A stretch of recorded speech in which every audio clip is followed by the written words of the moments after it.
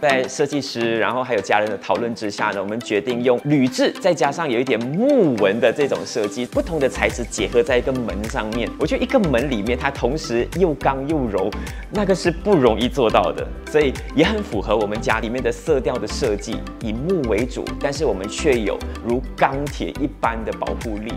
如果没有机会去到 Deluxe showroom 的话，我没有看到的就是它竟然是一个门中门，你知道吗？那个门中门很有趣的是，我们在家里有时候不开，把那个门中门打开之后，那个雨声跟风就会慢慢的吹进来，透过那个很密密麻麻的小孔，然后我们很怕蚊子，但蚊子也跑不进来。嗯，这个就是我觉得这个门中门的设计，在设计上面给人更多的惊喜了。我觉得除了前门，然后大门之外呢，后门其实也是很重要的一环，所以我们在后门的选择上面呢，也是用了一个门中门的设计。所以呢，每一次呢，只要做饭或者是说要煮菜的时候呢，我们就把门中门给它打哎。这个门中门呢，其实它就有很强大的空气流通的功能。只用铝制门的这个过程当中，我才意识到原来铝制这个门它的耐用度跟它的防腐，甚至说它防潮。